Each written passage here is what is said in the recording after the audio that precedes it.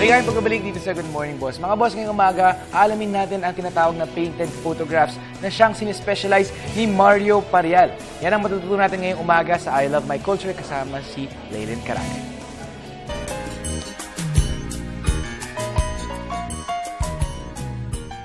Good morning mga boss! Ngayong araw ay aming i-feature ang multi-awarded Filipino painter, printmaker, sculptor at photographer na si Mario Parial sa kanyang painted photographs. Isang exhibit na nagpapakita sa conventional photography ng artist sa pamamagitan ng kanyang collection of vintage cameras. Ang art ni Parial ay umiikot sa photography, printmaking at painting. Ngunit noong siya'y nagkaroon ng karamdaman, isinangtabi niya ang painting at dito muling nabuhay ang pag-ibig niya sa photography. Isang passion mula sa kanyang college days. Hindi lang pagkukolekta ng vintage cameras, kundi ginamit niya ang mga ito para may advance ang kanyang artworks. Dahil sa malawak na exposure at kaalaman niya sa gadgets, ito ang nagtulak sa kanya na gumawa at magkaroon ng kapabilidad na gamitin ang iba't ibang mga vintage cameras at lente na dumadaan sa kanyang mga kamay. fascinated siya sa old pictures, yung mga sepia. Yung gusto niya, paano niya mapapalabas yung effect na yon without the aid of a computer. Yun, magagawa mo lang by using an old camera. Before he died, he even bought a very expensive camera. It's a black and white camera. Si Mario Parial ay recognized bilang isa sa mga leading painters sa bansa. the Pieta. It's a big, big Pieta. Uh, I had it blessed so many times. And then also, that's number one. Number two is maybe yung apat na Maria, all girls. Yun, ang aking, uh, I have a lot, but yun yung dalawa kong gustong gusto.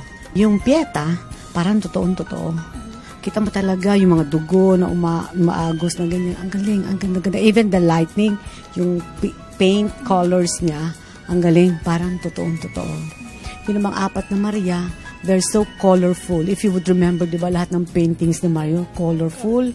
Lahat, pati yung mga buhok, may flowers, may birds. Yun yung aking apat na Maria na hindi, hindi ko ibebenta.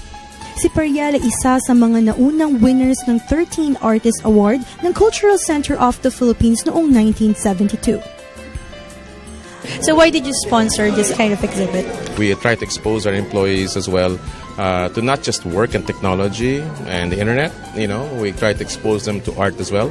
And we had the space, and the space we want to fill with different works that we want to expose them to. And I felt that just my own exposure to Parial, uh, Mario Parial and his work, I'd like to share that exposure to the rest of the employees. It's just our own small way of honoring a great Filipino artist. There are very few artists that I've seen with that intense detail. He he did uh, and colors, the combination of colors and the use of different media. And I like the use of gold leaf in some of the places. The early work and the first work that I actually was interested in uh, was a harlequin. Um, you know, a harlequin looks like a clown, a jester, and it was intensely colored. Uh, again, with gold, very bright reds, very bright yellows. Uh, and that's what attracted me to him. And for me, uh, that was a signature piece uh, of Mario Payal.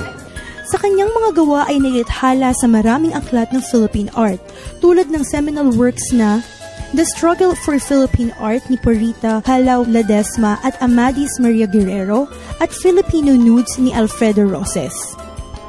Ang exhibit na ito ay isang paraan para i-discover o i-rediscover ang artist's edge in the pantheon of the Philippine visual art. Alam nyo ba nang noong November 2005, a set of four stamps at souvenir sheet ay na-issue para sa National Collecting Stamp Month dito ay isang rubber cut titled Bulbs na printed by Mario Parial. Leilin Karagay para sa I Love My Culture.